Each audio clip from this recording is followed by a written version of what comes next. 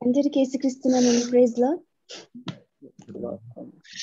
రంగుల వలయం ఈ లోకం ఆశ్రయ నిలయం ఈ దేహం రంగుల వలయం ఈ లోకం ఆశ్రయ నిలయం ఈ దేహం నమ్మొద్దు నీవు నమ్మొద్దు నమ్మొద్దు నీవు నమ్మొద్దు నమ్ముకుంటే నిన్ను మురిపిస్తుంది మురిపించి నిన్నే ముంచేస్తుంది. నమ్ముకుంటే నిన్ను మురిపిస్తుంది మురిపించి నిన్నే ముంచేస్తుంది. రంగుల వలయం ఈ లోకం ఆశల నిలయం. ఈ దేహం అందసందాలతో అందరినీ ఆకట్టి ఆస్తిపాస్తులెన్నో సమకూరుస్తుంది. అందసందాలతో అందరినీ ఆకట్టి ఆస్తిపాస్తులెన్నో సమకూరుస్తుంది. అంతలోని లోకానికి నెట్టేస్తుంది. అందరినీ దుఃఖములో ముంచేస్తుంది. అంతలోని లోకానికి నెట్టేస్తుంది? అందరినీ దుఃఖములో ముంచేస్తుంది. నమ్మొద్దు నీవు నమ్మొద్దు. నమ్మొద్దు నీవు నమ్మొద్దు. రంగుల వలయం ఈ లోకం ఆశల నిలయం ఈ దేహం లోకాన్ని నమ్మిన వీరాది వీరులు అది నాది ఇది నాది అనుకున్నారు. లోకాన్ని నమ్మిన వీరాది వీరులు అది నాది ఇది నాది అనుకున్నారు. రేపు పట్టులో వారు ప్రాణం పిలిచి నరకాగ్నిలోనికి వెళ్ళిపోయారు. రేపు పట్టులో వారు ప్రాణం పిలిచి నరకాగ్నిలోనికి వెళ్ళిపోయారు. నమ్మొద్దు నీవు నమ్మొద్దు. నమ్మొద్దు నీవు నమ్మొద్దు. రంగుల వలయం ఈ లోకం ఆశల నిలయం ఈ దేహం. దేవాది దేవుని నమ్మిన భక్తులు ఈ దేహాన్ని లోకాన్ని నమ్మలేదు. దేవాది దేవుని నమ్మిన భక్తులు ఈ దేహాన్ని లోకాన్ని నమ్మలేదు. నమ్మదగిన ఏసయ్యను వెంబడించి పరలోక రాజ్యాన్ని చేరుకున్నారు. నమ్మదగిన ఏసయ్యను వెంబడించి పరలోక రాజ్యాన్ని చేరుకున్నారు. నమ్మండి యేసుని నమ్మండి. రారండి యేసుని చేరండి. రంగుల వలయం ఈ లోకం ఆశల నిలయం ఈ దేహం రంగుల వలయం ఈ లోకం ఆశల నిలయం ఈ దేహం నమ్మొద్దు నీవు నమ్మొద్దు. నమ్మద్దు నీవు నమ్మద్దు. నమ్ముకుంటే నిన్ను మురిపిస్తుంది మురిపించి నిన్నే ముంచేస్తుంది. నమ్ముకుంటే నిన్ను మురిపిస్తుంది మురిపించి నిన్నే ముంచేస్తుంది. రంగుల వలయం ఈ లోకం ఆశల నిలయం ఇది thank you thank you thank you బిడా thank you మంచి పాట స్వార్థ పాట పాడి వినిపించినందుకు ప్రత్యేకంగా వందనాలు తల్లి. దేవుడు మేమును మీకు మీరు చేస్తున్నటువంటి పనినంతటిని కూడా దీవించి ఆశీర్వదించను గాక. ఈ సమయంలో మరి దేవుని వాక్యాన్ని విందాము మధ్యలో ఆయన గారు గంధం పౌలన్న గారు ఉన్నారు. వారు దేవుని వాక్యం నడిపిస్తారు. ఆయన గారికి సమయాన్ని అప్పగిస్తున్నాను మంచిది. థ్యాంక్ యూ పాస్టర్ గారు. Is it okay voice clear ఉన్నదా? ఆ, ఓకే అండి మంచిది. షలోమ్ ఎవ్రీవన్ దేవుని నామం ఉదయకాలం చేరిన అందరికీ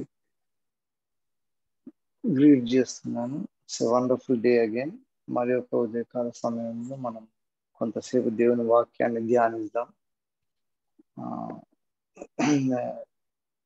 నీతి రైచియస్నెస్ అంటారు కదా. ఎవరు కరెక్ట్ ఎవరు రాంగ్ అని ఇప్పుడు ప్రస్తుతం ప్రపంచం మొదలైనప్పటి నుండి ఆఖరి వరకు ఇదే నడుస్తుంది అనమాట ప్రపంచం అంతా కూడా ఎవరు నీతిమంతులు ఎవరు కాదు ఎవరు మంచోళ్ళు ఎవరు చెడ్డోళ్ళు. ఇప్పుడు పాటలు పాడిన పిల్లలు కూడా మా నమ్మొద్దు. ఏది నమ్మాలి అసలు ఏది నమ్మొద్దు. ఏది నమ్మితే మనం నీతిమంతులం అవుతాం. అబ్రహాం దేవుని నమ్మిండు. అందుకే అదే నీతి అని డిఫైన్ చేసింది బైబిల్లో. సో ఆ రైచియస్నెస్ అనేటోళ్ళు లూకస్ వార్త పద్నాలుగో అధ్యాయంలో పద్నాలుగో వచనంలో ఒకటి ఉంటుంది. నీవు ప్రత్యుపకారం చేయుటకు వారికి ఏమీ లేదు గనుక నీవు ధన్యుడవదు. నీతిమంతుల పునరుత్నం ముందు నీవు ప్రత్యుపకారం పొందుదు అని చెప్పాను. ఇది వేసే అక్కడ ఆ కాలంలో వాళ్ళకు చెప్తూ ఏమన్నాడు శిష్యుల మధ్యలో అండి నువ్వు ఎవరికి సహాయం చేసినా కూడా దానికి రిటర్న్ వాళ్ళు చేయలేని పరిస్థితిలో ఉంటారు కదా. అటువంటప్పుడు సహాయం చేయడం వల్ల నీకు మంచిది అవుతుంది. ఎందుకంటే మన ఇప్పుడు లోకరీతిలో చూసినప్పుడు మనం ఏది చేసినా కూడా మనకు దాంతో కొంత క్రెడిట్ రావాలని ట్రై చేస్తుంటాం కదా మనం. అందుకని అంటాం మనం అంటే ఇప్పుడు మన ఇన్వెస్ట్మెంట్ మన టైం మన మనీ మన ఎమోషన్స్ ఇవన్నీ కూడా ఎక్కడ పెడుతుంటే అక్కడ నుంచి మనకు మన రిటర్న్ రావాలని ఎక్స్పెక్ట్ చేస్తాం. అటువంటి దగ్గరనే పెడుతుంటాం. దేవుని పని కొరకు కావాలన్నప్పుడు చాలా మంది ఇవ్వరు. అదే మీ ఫాదర్ మెమోరియల్గా ఒక పని బట్టలు అంటే వాడు ఎంత చేస్తారు నీ పేరు వస్తుంది ఇట్లా ఇట్లా చేస్తే నీ పేరు వస్తుంది అని చెప్తే దాని కొరకు చేస్తారు. అయితే ఇట్లా చేస్తే మీ కుమారునికి ఇంత బెనిఫిట్ అవుతుంది అంటే చేస్తారు. సో మనం చేసే ప్రతి క్రియ రూపాల కూడా దాని వెనుక మోరల్ స్టాండర్డ్స్ దేవుడు చూస్తాడు అన్నమాట. చూసి నీతిమంతుల మంతుల అని అంటున్నాడు the the resurrection of the righteous అప్పుడు గుర్తుపట్ నేను నీవు నువ్వు చేసిన పనికి ప్రతిఫలం ఎప్పుడు ఉంటుంది అంటే నీతిమంతుల పునరుద్ధానం జరిగినప్పుడు ఇటువంటి పని చేస్తే దీనికి పునరుద్ధానం ఉంటుంది దానికి నీకు బెనిఫిట్ ఎక్కువ ఉంటుంది అంటారు అనమాట నీకు ప్రత్యుపకారం పొందుతాం అంటారు. సో అంతకంటే ముందే రాసిన అనమాట నీ సహోదరునైనా నీ సహోదరునైనా నీ బంధువులనైనా నీ ధనవంతులవు నీ పొరుగు నేను పిలవవద్దు. వారు ఒకవేళ నేను మరలా పిరుతురు కనుక నీకు ప్రత్యుపకారం కలుగును. అయితే నీవు విందు చేరినప్పుడు బీదులను అంగహీనను కుంటివాళ్ళను గుడ్డివాళ్ళను పిలువము. నీకు ప్రత్యుపకారం చేయుటకు వారికి ఏమీ లేదు కనుక నీవు ధన్యుడవద్దు అని నీతిమంతుల పునరుద్ధానం జరిగినప్పుడు నీకు దీనికి కంపెన్సేషన్ దేవుడు ఇస్తున్నాడు సో దీనికి కాంప్లిమెంటరీగా అది దేవుని నీతి అంటే అదే అన్నమాట దేవుడు. అందుకనే ఏసే గురించి డిస్క్రైబ్ చేసినప్పుడు మనం కూడా దేని గురించి ప్రౌడ్గా ఫీల్ కావాలంటే మా కొరింతీలకు రాస్తాడు పౌలు. రాసుకుంటా రెండవ అధ్యాయం మొదటి అధ్యాయంలో చివరి వచనం ఉంటుంది. ఇది ముప్పై ఒకటో వచనంలో. అతిశయించువాడు ప్రభువునంది అతిశయింపవాలని రాయబడి నెరవేరునట్లు దేవుని మూలముగా ఆయన మనకు జ్ఞానమును నీతి పరిశుద్ధత విమోచనము ఏసయ్య ఏసయ్య అని చెప్తాను దేవుని మూలంగా మనము దేవుని బట్టే మనం ప్రౌడ్గా ఫీల్ కావాలి. ఎందుకంటే ఆయననే మనకు జ్ఞానం అవుతుంది మనకు నీతి అవుతుంది అని అంటుంది మన పరిశుద్ధత మన విమోచనం అన్నిటికీ కూడా the embodiment of all these four aspects. ఇది ఏసై అయి ఉన్నాడు కాబట్టి మనము దాని గురించి ప్రౌడ్గా ఫీల్ కావాలన్నమాట ఆ ఏసై మనకి ఎందుకు జ్ఞానము నీతి పరిశుద్ధత అయిందంటే ఏసై లోపల ఉన్న కొన్ని రెండు మూడు లక్షణాలు చెప్తాను. ఇదే నీతి అన్నమాట. మనం ఇప్పుడు మన దిన దిన జీవితంలో కానీ మన కుటుంబ జీవితంలో కానీ మన లైఫ్ టైంలో మనకు ఎసెన్స్ ఆఫ్ అవర్ లైఫ్ దేవుడు మెజర్ చేసినప్పుడు ఇర్మియా ప్రవర్తన రాస్తారు నేను మళ్ళీ చెప్తాను. ఈ కొలసి పత్రికలో పౌలు ఏసఐ గురించి రాస్తుంది అసలు ఏసఐ గురించి మనం ప్రౌడ్గా ఎందుకు ఫీల్ కావాలి? ఆయనని జ్ఞానము నీతి పరిశుద్ధత విమోచనమైంది ఎందుకంటే కులసి పత్రికలో ఉన్నది నేను రిఫరెన్సెస్ కాదు కానీ ఏసే క్వాలిటీస్ చెప్తాను. ఆయన అదృశ్య దేవుని స్వరూపి సృష్టికి ఆది సంభూతుడై ఉన్నాడు. తర్వాత ఆయనే సమస్తములకు ఆధారభూతుడై పదిహేడవ వచ్చిన మొదటి అధ్యాయంలో అది తర్వాత మృతులలోని లిస్టులో ఆది సంభూతుడైంది ఆయన. ఆయన్నే తర్వాత ఆయన ద్వారా సమస్తమును అవి భూమి ఎందున్నాయను పరలోకం ఎందున్నాయను వాటన్నిటినీ ఆయన ద్వారా తమతో సమాధానం పరచుకోవాలని తండ్రి అభీష్టం ఆయన. ఈ దేవుడు ఈ ఇష్టపడడానికి కావాల్సిన సర్వ పరిపూర్ణత క్రీస్తు యందు ఉన్నది అని ఉంటుంది. తులసి పత్రికలో ఫస్ట్ మూడు చాప్టర్స్లలో you will find everything that we require in our life అనమాట అందుకనే రాసే దైవత్వం యొక్క సర్వ పరిపూర్ణత క్రీస్తులో ఉన్నదని దాని ఫాలోయింగ్ వర్స్లో రాస్తుంది. పన్నెండవ వచ్చినము రెండవ అధ్యాయంలో. మీరు బాప్తిస్మ ముందు ఆయనతో కూడా పాతిపెట్టబడిన వారై ఆయనను మృతులను లేపిన దేవుని ప్రభావం ముందు విశ్వసించుట ద్వారా ఆయనతో కూడా లేచిరి. ఆయనతో కూడా మనం ఆల్రెడీ లేచి తిని అని రాస్తుంది అనమాట ఆయనను విశ్వసించుట ద్వారా విశ్వాసం అనేది కూడా నీతికి లింక్ చేసింది అందుకని ఆ అబ్రహాము నీతిని బట్టి కూడా అబ్రహాము ఎందుకు ఈ దేవుని నమ్మిండంటే విశ్వాసానికి మన దానికి embodiment of faith is Abraham అంటారు.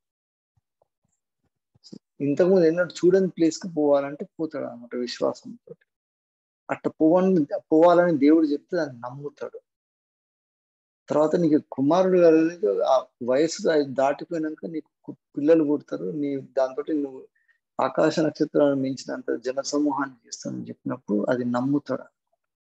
ఆ నమ్మకం అనుకున్న విశ్వాసం ఉన్నది అది దేవుని నీతి కిందకి తెస్తుంది అనమాట అయితే ఆ నమ్మినాక అబ్రహాం చేసిన పనులు ఉన్నాయి కదా ఆ పనులే మళ్ళీ అబ్రహాంకు నీతివంతుల పునరుద్ధానంలో కౌంట్ అవుతుంది అందుకే మనం కూడా ఇప్పుడు మనం నీతివంతుగా మనం ఎప్పుడు చెప్పుకోగలుగుతాం అంటే మనం చేసిన పనుల ద్వారా దేవుడు దేవుని నెరవేర్పు జరుగుతుంది.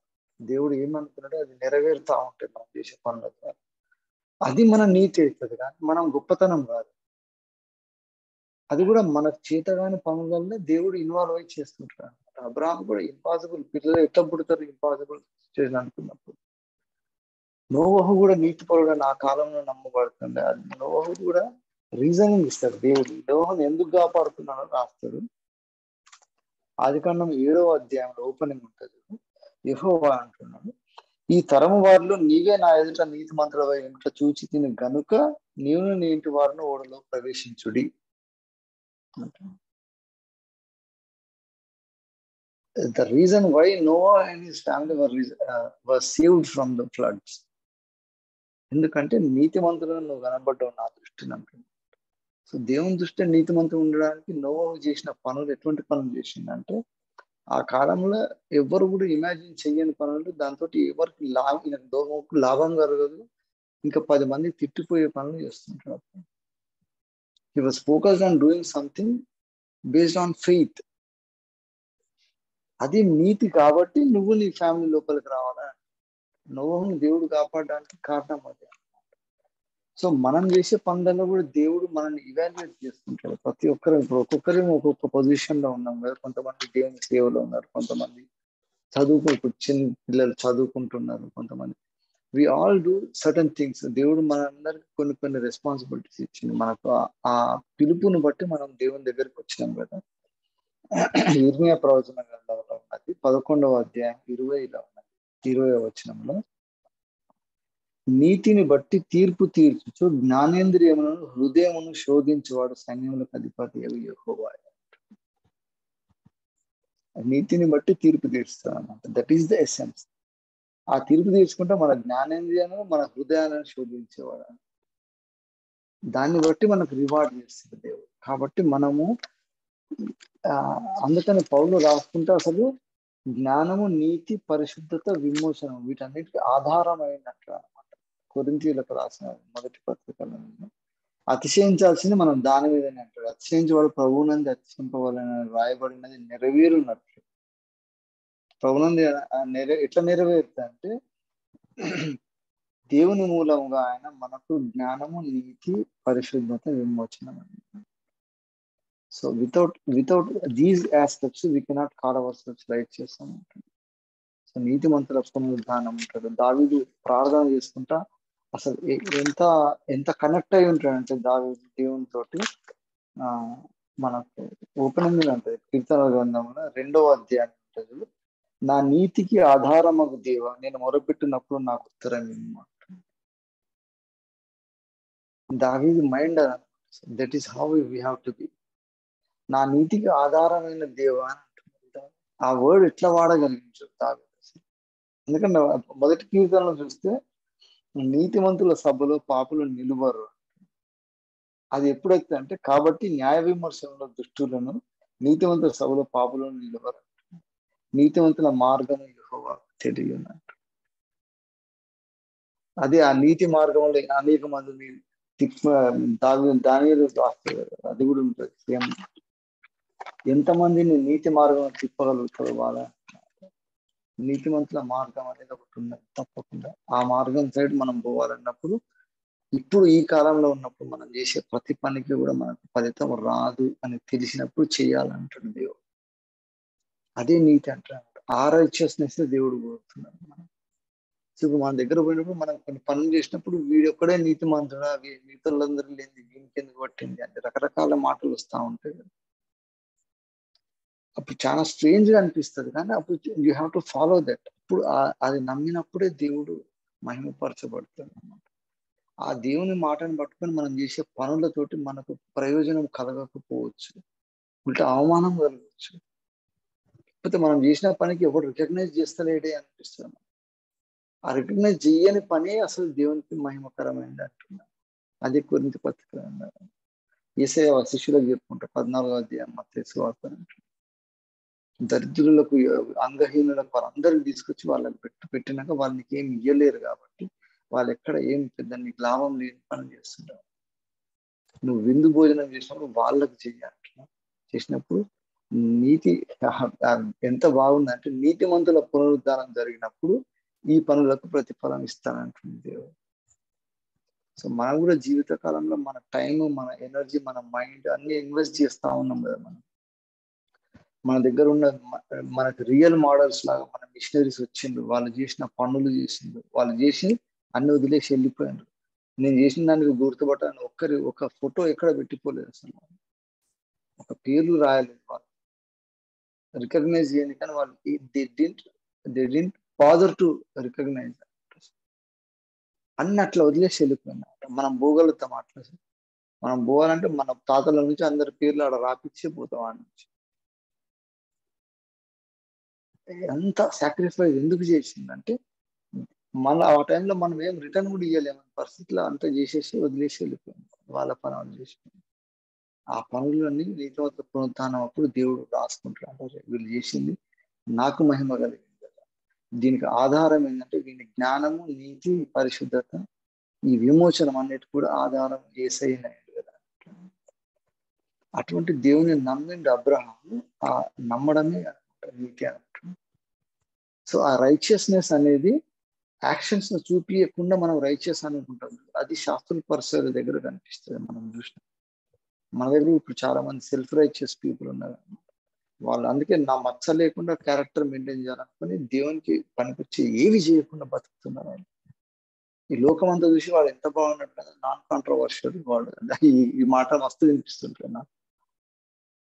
But what what is that? What exactly you're projecting for Christ అంటే ఆ దేవునికి నీతికి ఆధారమైన పనులు చేయాలన్నమాట ఆ పనులు చేయకుండా ఉండి అసలు నో గురించి ఎంత బాగా అసలు ఆ కాలంలో నిందారహితుడై ఉన్నాడంటే నో నో విషయంలో కూడా. ఇంతకుముందు చూసినాను ఆది కాండంలో ఉంటది. అయితే ఆరో అధ్యాయం ఎనిమిది. అయితే నోవహు యహోవా దృష్టికి కృప పొందిన వాడాయను ఆ నోవహు వంశావళిది. నోవహు నీతి పరుడును తన తరములో నిందారహితుడై ఉండేను అంటుంది. అందుకని ఆయన నీతిని బట్టి నోవహు కుటుంబాన్ని కాపాడుతుంది దేవుడు. సో మనం కూడా చేసే పనులలో నీతి కనబడాలన్నమాట సో ఆ నీతి కనబడ్డప్పుడు అటువంటి నీతిని ఇష్టపడని వాళ్ళు ఈ నీతిని డిఫైన్ చేయలేరు. తప్పకుండా లోవర్ చేయడానికి ట్రై చేస్తుంటారు. కాబట్టి దేవుని పనులు చేద్దామని పోయినప్పుడు దేవుని పనులకు వ్యతిరేకంగా ఎవరు వస్తుందంటే సొంత నీతికి ఆధారపడిన వాళ్ళ స్వనీతితోటి వాళ్ళు చేసే ఆలోచనలతోటి దేవునికి మహిమ కలగదు. కలగకుంటే ఏమవుతుంది గుర్తు ఏమంటే somebody else will be taking the glory దేవునికి కలిగే మహిమ కాకుండా వేరులో ఆ మహిమను తీసుకుంటా ఉంటారు. అది దేవుని దృష్టిలో ఎంత భయంకరమైన పరిస్థితి ఉంటుందంటే అందుకే న్యాయ విమర్శలు అని రాసిన. న్యాయ విమర్శలు నువ్వు చేసిన పనులకు దేవుడు ప్రతిఫలం ఇస్తాడు సో మనం చేసే ప్రతి నీతి కార్యాల వెనుక మనం హైలైట్ అవుతున్నాం మన క్యారెక్టర్ హైలైట్ అవుతుందా? మన కాందాన్ని హైలైట్ అవుతుందా? ఇవన్నీ నడుస్తుంటాయి కదా. ఎంత రోషంతో పనులు చేస్తుంటాం? దేవునికి అవమానం కలిగితే ఏమన్నా కానీ మన మన ఇంటి పేరు ఎవడు ఏమన్నా అన్నా అంటే మాత్రం మొత్తం ఒకటి చేసేస్తాం. అంత రోషం దేవుని పనుల్లో పెట్టలేము మనం. అక్కడ అంటుండే అనమాట ఏమి చేయలేని పరిస్థితిలో ఏమి రిటర్న్ ఇయ్యలేని పరిస్థితిలో చేసే పని నీతి అంటున్నాడు దానికి ఎగ్జాంపుల్ ఏసై అని పెట్టినా. మనం చేసే అన్ని పనులు మనకు ఏది కూడా దేని పనికి రాదు మనం అతిశయింపబడాల్సింది ఏసై లోపల అంటున్నాం ఎందుకంటే ఆయన రక్తం ఇచ్చింది కదా దానికి ఒక కండిషన్ పెట్టలేదు. మనం ఉన్న ఏ పరిస్థితి కూడా దానికి సరిపోదన్న దేవుని ఏసై మనకు ఏం ఇయ్యలేని పరిస్థితులల్లో ఆయన మొత్తం ఇచ్చేసిండు ప్రాణం. అందుకనే నీతి సూర్యుడు అని ఏసై పేరు he is the he is the essence and he is the source of righteousness so మన రైచియస్నెస్కి రూట్ అది ఉండాలి. సో మనం చేసే పనులకు దానికి వేరు అంటారు దాంతో చెట్టు ఫలిస్తుంది కదా. వేరుని బట్టి కదా పైన వచ్చేది చెట్టు. పైన ఎంత మొలిసినా దాని కింద వేరుని బట్టి చెట్టు మొలుస్తుంది. సో మన నీతి కూడా ఏ విధంగా దేవుని సన్నిధిలో ఎదగాలంటే ఆ రైచియస్నెస్ అనే రూట్స్ ఏసై లోపల ఉండాలి. దాన్ని బట్టి మనం ప్రతిఫలం చేస్తాం దాన్ని బట్టి మనం ఫలిస్తాం అనమాట అటువంటి ఫలించిన ఫలితాలను దేవుడు మెచ్చుకుంటాడు అనమాట అటువంటి ఫలితాలు లేని తీగలను తీసేసి కాల్ చేస్తానంటాడు సో అది దేవుడు మనం కోరే నీతి.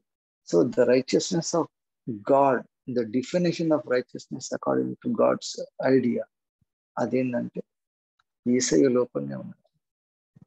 అది నమ్మాలని అది నమ్మినాక నమ్మినడానికి సూచన ఏంటంటే నమ్మిన మనం చేస్తాం మనం చేసే పనులు ఉంటాయి. అది నమ్మినతోనే ఉండడం అంటే అది నీ నమ్మకంలో డిఫెక్ట్ ఉన్నట్టు. అది నమ్మినామంటే డెఫినెట్గా నువ్వు దాని ప్రకారం ఫలితాలు ఇస్తా ఉంటావు. ఆ ఫలాలను బట్టి ఆ చెట్టును గుర్తుపట్టొచ్చు అని సో మన నీతి ఫలాలు నీతి కార్యాలు ఏమేమి చేస్తున్నామని చూసినప్పుడు దేవుడు ఇది రాసుకుంటాడు అనమాట వీడు చేసే పనులలో ఎవ్వరు దీనికి సంబంధించిన ఎవ్వరు పట్టించుకుంటలేరు. ఈ రిటర్న్ వచ్చే పరిస్థితులు లేవు. దీనికి బెనిఫిట్ ఇమీడియట్గా అయితే లేదు. దీనికి దీనికి ఘనత కలిగేది ఇంకా అవమానం కలుగుతుంది అబ్రహాం అట్లా వెళ్ళిపోయినప్పుడు ఆ కాలంలో ఎంతమంది అనుకుంటారు? ఎంత కంఫర్టబుల్ ప్లేస్ పెట్టుకుని ఏం తెలియని ప్లేస్ ఎట్లా పోతుంది? తెలివి తక్కువ అనుకో బట్ అబ్రహాం నమ్మి పోతూనే ఉన్నాడు ఇది వరకు చూడని ప్రదేశానికి పోవాలంటే పోయింది బలి ఇచ్చినప్పుడు కూడా కుమారుని ఇచ్చినప్పుడు మళ్ళా పునరుతాడు లేస్తాడని నమ్మి ఇస్తాడు. సో మనం కూడా దేవుని కాడికి వచ్చినప్పుడు న్యాయ విమర్శలు నీతి కార్యం చేసినప్పుడు మనము ఆ మార్గంలో పోతున్నామని ఎంతమంది తిప్పగలుగుతామో వాళ్ళని ఆకాశంలో జ్యోతుల వలి దాన్ని ప్రవచనం సో ఆ దేవుడిచ్చిన నీతిని మనం ధరించుకోవాలన్నమాట ఆ నీతి వస్త్రాల కొరకే ఆయన మనకు ఆయన రక్తాన్ని ఇచ్చింది అందుకనే అనీతి వస్త్రములు ఎడలించను. యేసునాథు రక్తము అందించిన.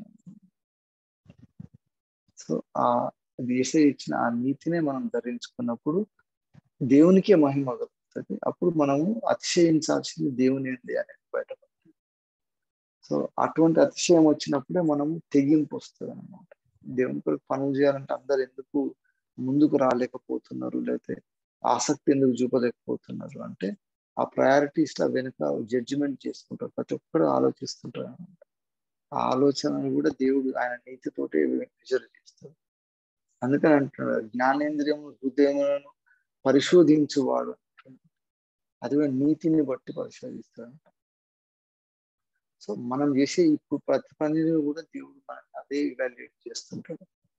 సో అందుకని మనం దేవుని ముందర నిలబడ్డప్పుడు న్యాయ విమర్శల నీతి మంత్రుల ముందు పాపలు నిలబడరు.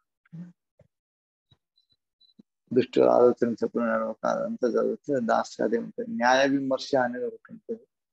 అప్పుడు దేవుడు నీతి మంత్రం సపరేట్గా ఆ టైంలో పాపలను తీసి పక్కకు పడేస్తాం అందుకే నీతి మంతుల మార్గం యహోవాకు తెలియదు. కాబట్టి ఆ నీతి మార్గం దేవుని అని ఉన్నది కాబట్టి ఏమైతుంది ఎట్లా చేయగలుగుతామో అదంతా మనకు అవసరం లేదు. ఆయననే మార్గం సరాల సరే ఆయననే మార్గదర్శి తిరుగుతూ ఉంటాడు అంటే మనకు. కాబట్టి ఆ దేవుని మార్గ మా దేవుని పాత్రలో మనం ముందుకు పోవాలి. పోయినప్పుడు దేవునికి మహిమ కలుగుతుంది. అది మనకు నీతి అని దేవుడు కన్సిడర్ చేస్తారు కాబట్టి అటువంటి నీతి కొరకు మనం ముందుకు ఉండాలి. అటువంటి నీతి మంత్రుల ద్వారా దేవునికి మహిమ కలుగుతుంది కాబట్టి మనం ఒకసారి మన ఒకసారి పరిశీలించుకొని మన ఆలోచనలు మన పనులు మనం చేసే ఇంటెన్షన్స్ ఉన్నాయి కదా మనం మన లైఫ్ వెనుక ఉన్న ఇంటెన్షన్స్ దేవుని నీతికి ఆధారమయ్యేటట్టు ఉండేటట్టు ప్లాన్ చేసుకుంటే మనము దేవుని సన్నిధిలో రేపు నిలబడ్డప్పుడు ఆ న్యాయ విమర్శలు నీతిమంతుల పునరుద్ధానంలో మనం నిలబడాలంటే ఖచ్చితంగా దేవుడు ఇచ్చిన రైచియస్నెస్కి పోవాలంట. We should be rooted in the righteousness explained by God దేవుడు ఎక్స్ప్లెయిన్ చేసిండు రైచియస్నెస్ అంటే ఇట్లా ఉండాలని చెప్పి ఏసైన మన దగ్గర పంపాడు. ఆయన్నే మనకు జ్ఞానము ఆయన్నే మనకు నీతి మన పరిశుద్ధత మన విమోచన ఈ నాలుగు కాబట్టి ఆ ఏసఐని ఫాలో కావాల్సిన అవసరం ఉందండి. ఆ ఫాలో అయినప్పుడు మన పనులు మన మనం మన ఆలోచనని డిస్క్రైబ్ చేయగలుగుతాం అందుకే మనం చనిపోయినాక మనం కూడా మన పనులు వస్తాయి పైకి అని అంటారు.